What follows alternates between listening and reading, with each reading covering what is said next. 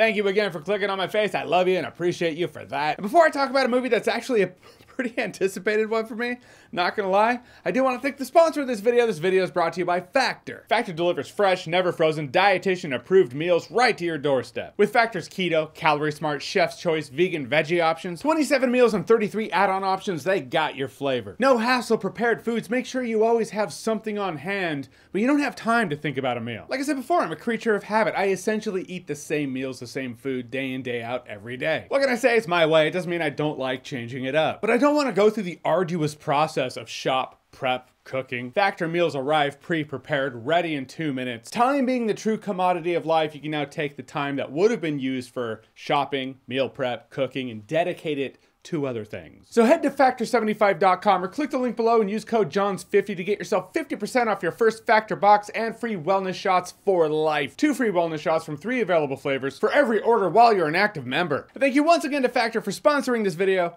I do appreciate it. And now I love me a good space thriller, so let's get to it.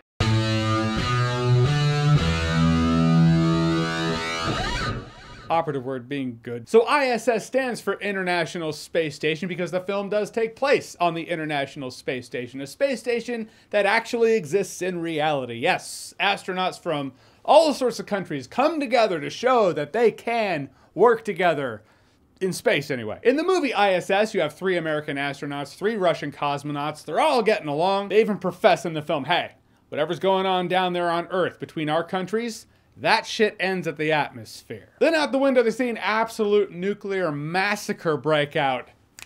Enter the antitrust. From there on, it's like, yeah, we're totally friends, right? Uh-huh, keep an eye on them. And when the movie plays that up, that's when it's in the pocket. That's when it's most engaging. That's when it's living up to the quite frankly brilliant setup and premise of the entire film. Six people, two countries, one confined space, and one of those countries has apparently pushed the button. And I want to emphasize for the first half of the movie when it is playing up that antitrust. Who do you trust? Who do you not? Did the Russians get the same orders we got? You don't know. You'll see one of the Russians peek his head around a corner. You don't know if he's just being shady or if the movie's just kind of framing it that way. Maybe he was like, oh, oh, there's my juice box. You don't know. In a premise like this, a movie like this, this movie in particular, it's the lack of information that keeps you engaged. When you have no more or less information than the American astronauts have, so you kind of feel like you're in the same boat, that's when it's peak. That peak slowly rolls into a valley, however, because it almost feels like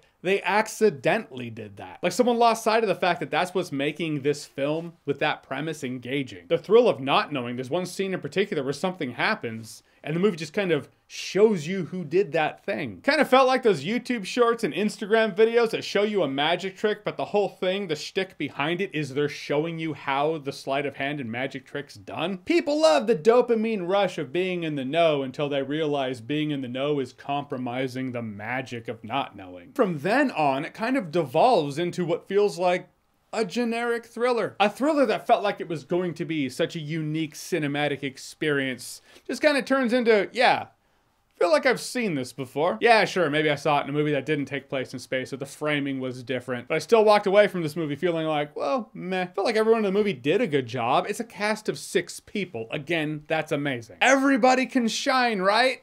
Well, there are a couple that stand out. Stand out for me is uh, Pilou Asbake or Asbeck.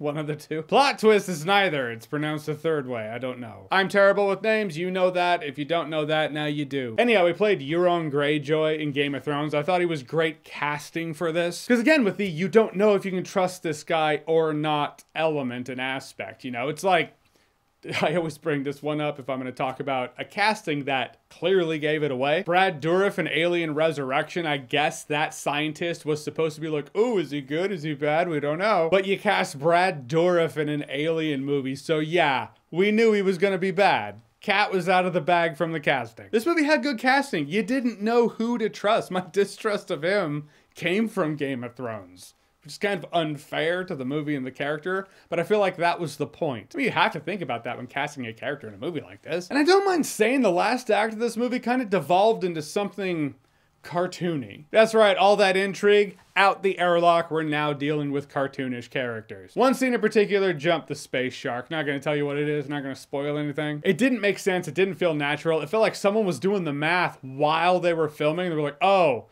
Um, well, we kind of want something else to happen, and we don't have enough characters to fulfill it. Here we go.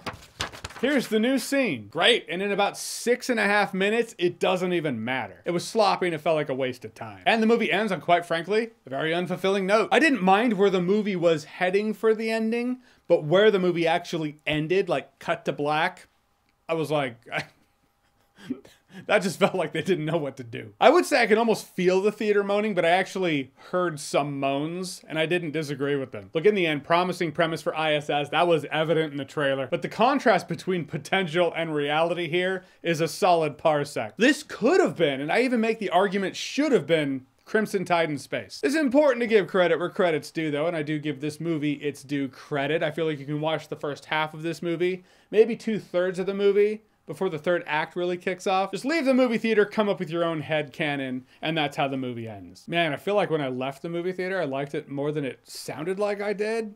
And then I turned on the camera, just it's just me bitching about the movie for a few minutes. Suppose I'm not gonna remember it in T minus one day. Yep, already forgot. All right, so ISS, have you seen it? What did you think about it? What's your favorite I guess we'll say claustrophobic thriller. That's not Alien. I mean, that ship was pretty big in the first Alien, but I guess it would still count. No cheating. If Alien's your first pick, what's your second? Whatever it is, whatever you think, comment below, let me know. And as always, if you like what you've seen here and you want to see more, click right here to see more.